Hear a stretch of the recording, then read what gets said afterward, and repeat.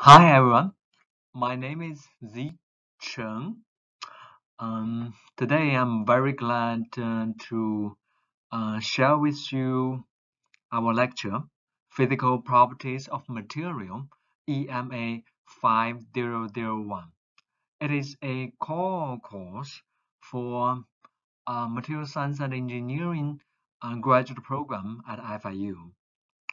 And uh, in my opinion, the course name is a misnomer.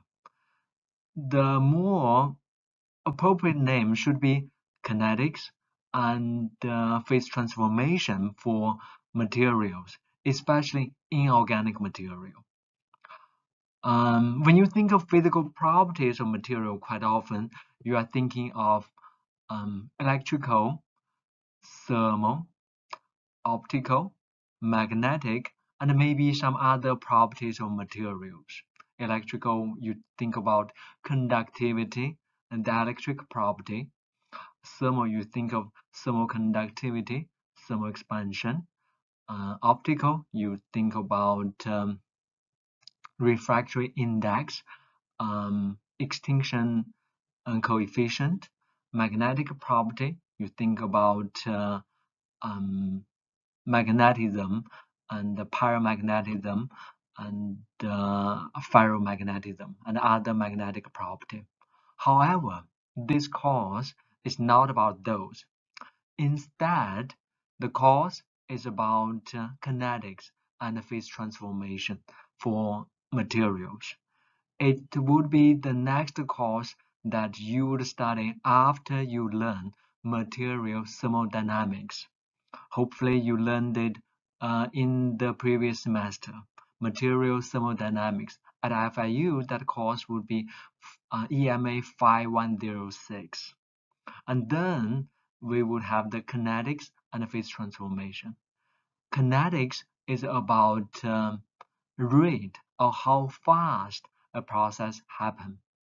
Um, and the phase transformation is about the transition uh, or change from one phase to another phase. Okay, again, the course is about kinetics, how fast a certain process, quite often a phase transformation happen, and phase transformation is the process that material go through from one phase to another phase. A simplistic example would be for melting, for example, from a solid phase to liquid phase for the same material.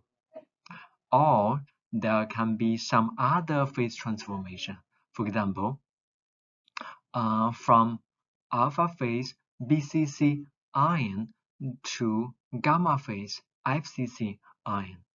Another example can be from graphite of carbon to diamond carbon.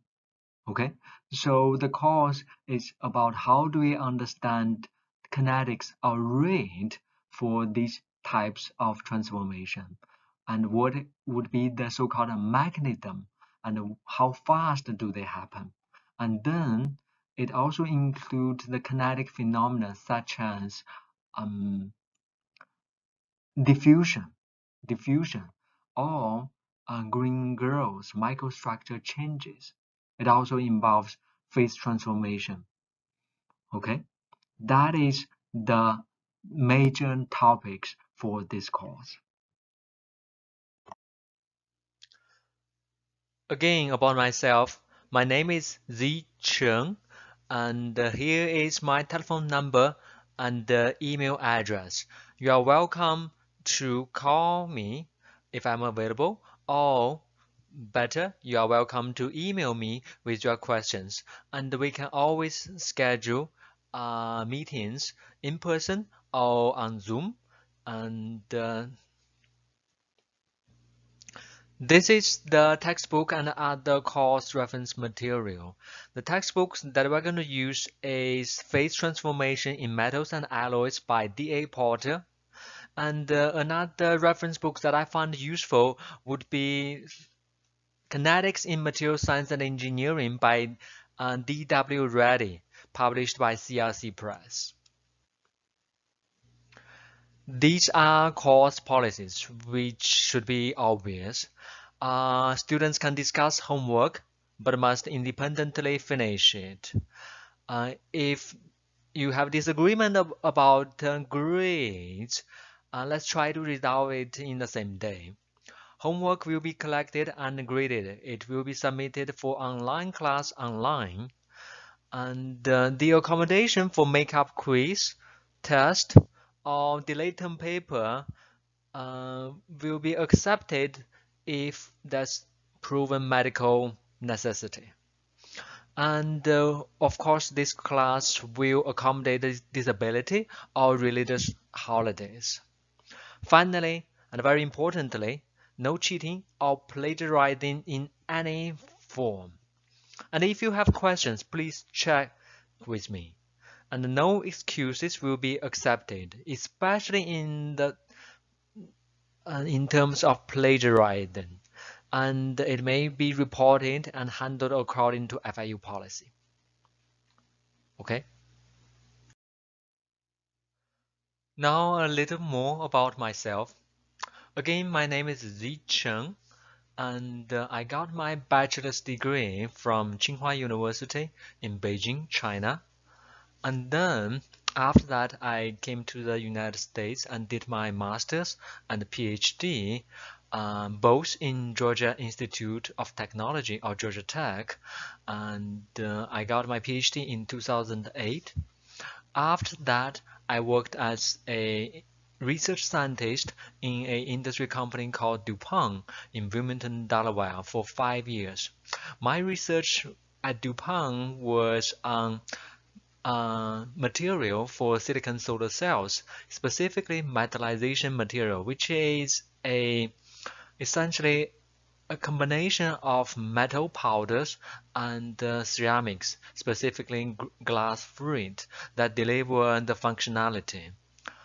And uh, I also uh, worked a little bit about the lithium-ion battery materials as well as uh, some other um, projects such as see-through solar panels. Um, then in 2013, I returned to academia. I came to FIU to become a assistant professor. Um, and in 2019, I was promoted to associate professor. My group website, you can find it at uh, ac.fiu.edu. A for advanced, C for ceramics, um, Again, that is ac.fiu.edu. If you visit the website, as I did a screen capture here, you can see, know more about uh, what we do in my group, such as our research, the papers that we published, the courses that I have taught, um, group members, including past uh, group members, what papers have they published, and um, uh, where they are right now. Okay. Um, apart from Canvas, we have maintained a permanent course website and this is the web address. And the following would be a screenshot for the current uh, course website. Okay, uh, on this website, you can find the lecture slides typically in PDF format.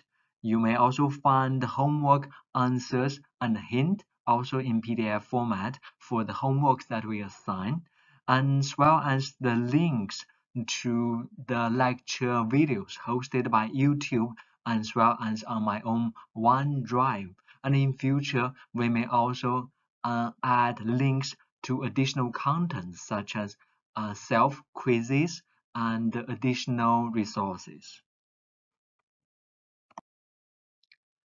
This slide shows the grading information. Specifically, there are different contributions to the overall grade, such as homework, quizzes, exams. And uh, these are for the grading criteria. what would be the percentage grading in order to get a different letter grade. I'm not going to read it just for your information.